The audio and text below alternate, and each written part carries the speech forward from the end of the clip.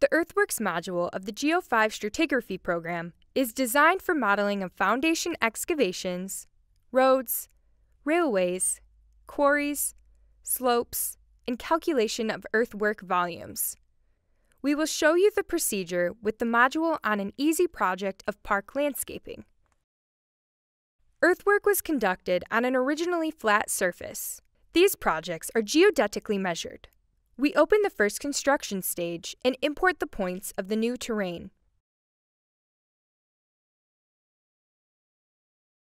The new terrain is automatically generated.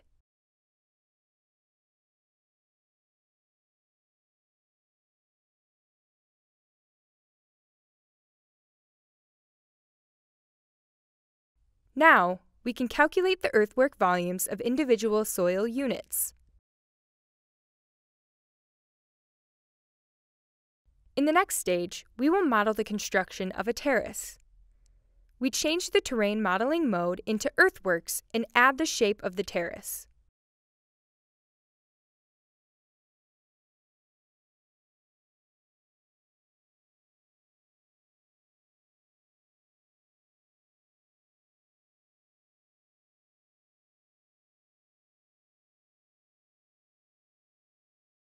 The terrace will have a uniform depth and inclination.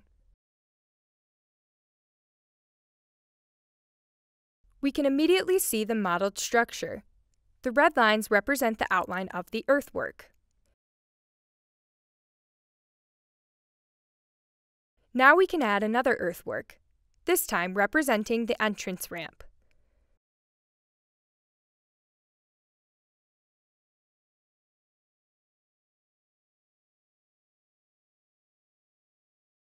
The z-coordinate is now variable, and the slope inclination is 30 degrees.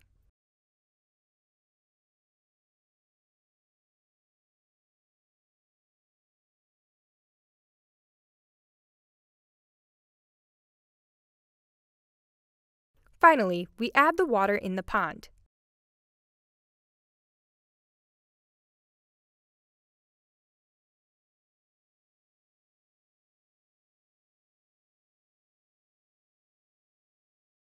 After generating the model, we can not only see the earthwork volumes, but also the volume of the water inside the pond. It is also possible to create cross-sections of the model.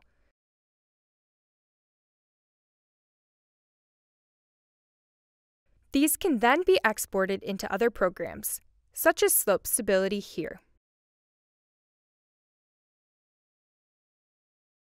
For more information, subscribe to our YouTube channel or visit our website www.finesoftware.eu.